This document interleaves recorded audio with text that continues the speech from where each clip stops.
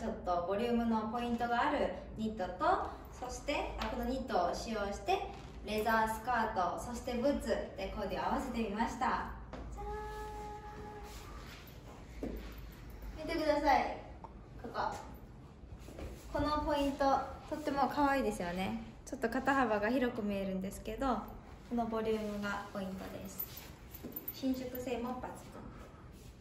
でですねこの中にシースルーのインナーをシースルーのフリルのインナーを着てみました。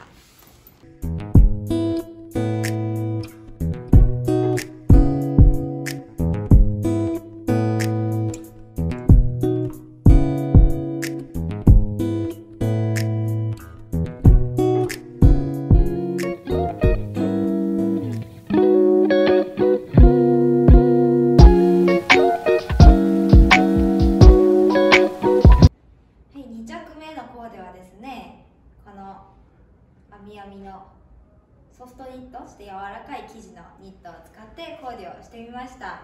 この下にシャツを着てそしてまたちょっと今回は短めのねレザースカートと合わせて冬らしいコーデにしてみました。1回ではい、ポイントはですねこうやってシャツと着るのもいいんですけどなんだろう。中に何でも着ても、うん、春でも秋でも結構使えるようなアイテムになっております。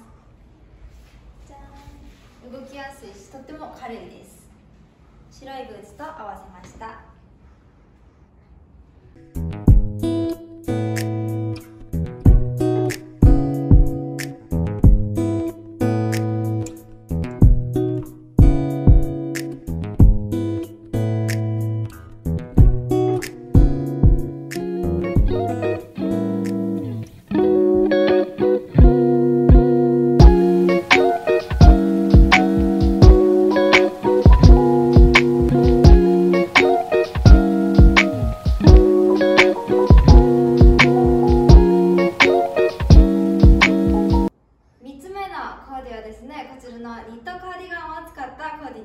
ります。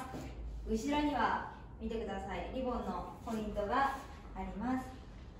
でね今回はこうして1つだけボタンを閉めてこのようにコーデしてみました。ブラウンのニットを中に着て暖かいコーデになっております。あとはですねポイントはこのブーツの中にパンツをちょっと入れてボーイッシュな感じに仕上げました。カバンはちらも新作になっております。かわいい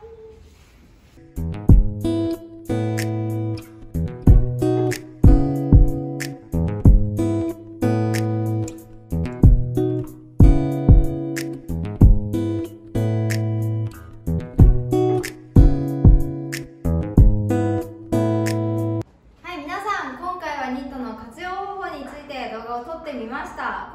回も3コーデを準備したのですが一番最初のコーデが私的に一番気に入ったかなって思います。最後まで見てくださってありがとうございました。それでは次の動画で会いましょう。バイバイ。